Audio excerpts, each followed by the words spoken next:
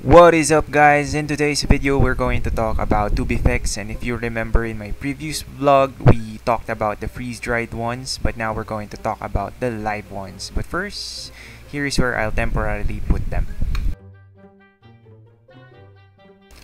So this is how they look like outside of plastic. I don't mean to gross you out guys but for me it kind of looks like corned beef.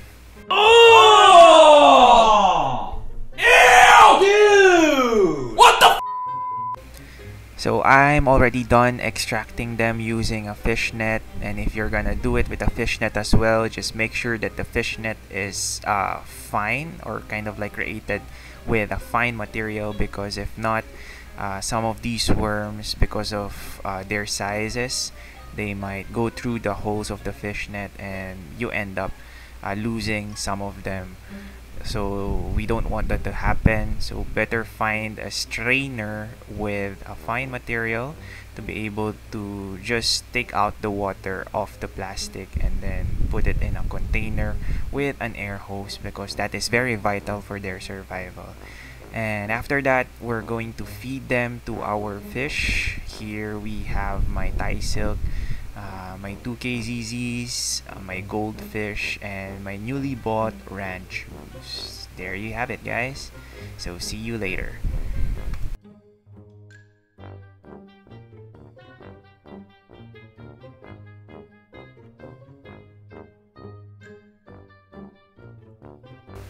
So it's about nighttime and I believe it's about time as well that we feed our fish some Tubifex worms. So uh, you'll see me feeding the fish using a disposable fork because I think this one is the most convenient way of scooping these worms because they're kind of like clumped up and it's better to use something that divides them. You know what I'm saying? By the way guys, this would actually be their first time to eat live food. So if they kind of look like a bit hesitant, uh, don't worry because they're going to eat these uh, worms once they're done investigating it.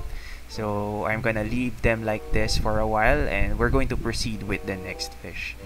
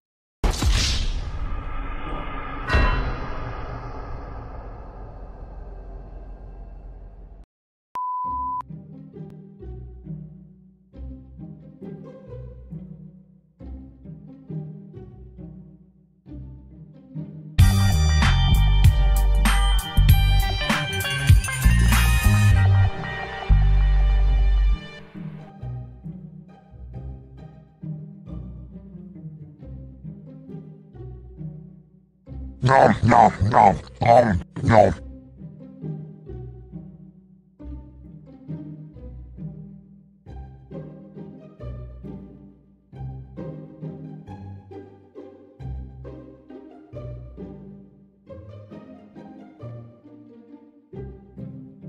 Nom nom nom nom nom.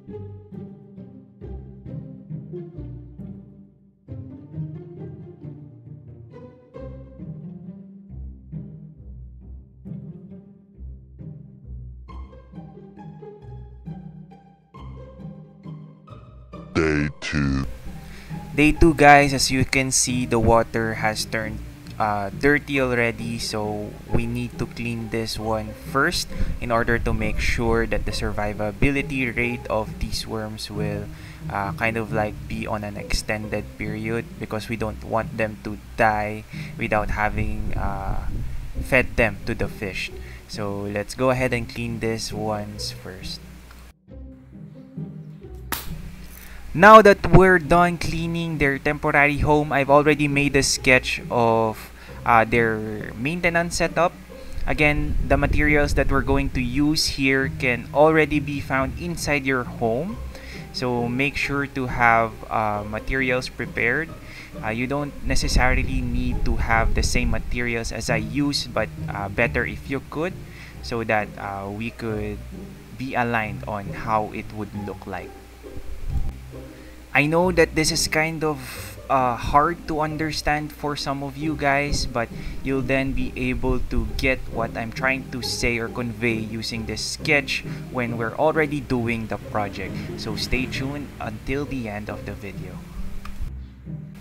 So these are the materials that we're going to need in order for this project to push through. Again, from left to right, we would be needing a soldering iron, which is a DIYer's best friend. If you don't have this one, what are you waiting for? Go get yourself some. But if you really can't, uh, try to look for something that can punch holes through plastic. It can be a drill, a power drill, or anything. But I think it would be best if you get yourself a soldering iron. And we also would be needing a pair of scissors, a cutter, in case you need some uh, finishing touches to do.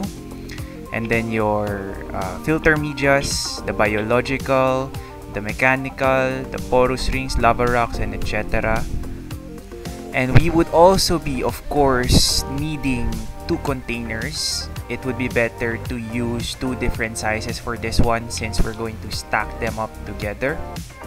And lastly the plastic bottle and a pipe so for the plastic bottle, it could be any plastic bottle so as long that it would fit all the filter medias that we're going to use. And for the pipe, so as long that it would fit inside the hole that we're going to make. Uh, it could be from your top filter that you don't uh, use anymore or such. And if you don't have one, just look for something that will um, kind of like connect the upper container to the bottom container. First thing that we're going to do is to cut this plastic bottle in half and I'll be doing so using the soldering iron but guys make sure to wear a mask when you're using soldering iron so that the fumes won't be inhaled by you.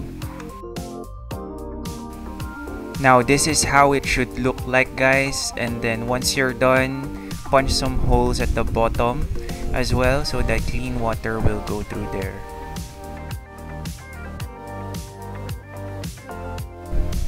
You can now put your filter medias inside the plastic bottle that you punch holes with and now you're gonna let this one set inside the first container. I'm also going to punch a bigger hole here in the first container for the wires and the hose. This one's looking good and I think it can already fit both the wires and the hose that I'm about to use. So next step is to punch a hole in your second container and uh, once we're done with everything else it should look a little bit like this.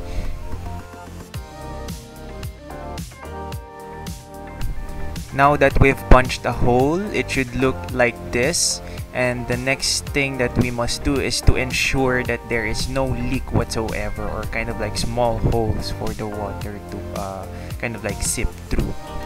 And for that, we would be needing a sealant, but since I don't have one with me, I'm going to use hot glue instead. Don't forget a leak test so you won't be having any problems in the future. After several tries, I think I was able to perfect my second container already. I also punched a hole here for the hose and now that's done, uh, we can then put our uh, filter and everything else. And this is the final result. Now everything's been uh, working uh, completely fine and smoothly. Uh, just make sure that there is no leak whatsoever and place everything else in a secured place so that it wouldn't topple. And once you're done you can now put your worms and uh, good luck maintaining them to be completely honest with you guys this setup is uh, with no flaw. Uh, some of the worms will fall through the hole uh, in your pipe but uh, most of them will stay where they are.